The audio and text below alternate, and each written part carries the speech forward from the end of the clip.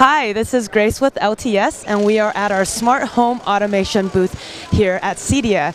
Um, this is featuring two of our IP cameras, and all of our IP cameras are now compatible with Control 4.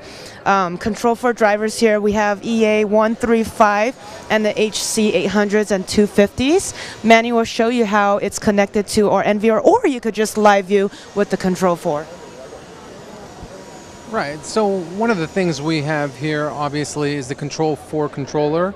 We do have the touchscreen device here down at the bottom. Another thing, obviously, is the monitor connected directly into the Control 4 controller, which is also plugged into our 4K NVR. Here you'll see two of the cameras that we have connected to our NVR that you'll be able to live stream right through your Control 4 system in your home or office. And switch on over to the other device as well.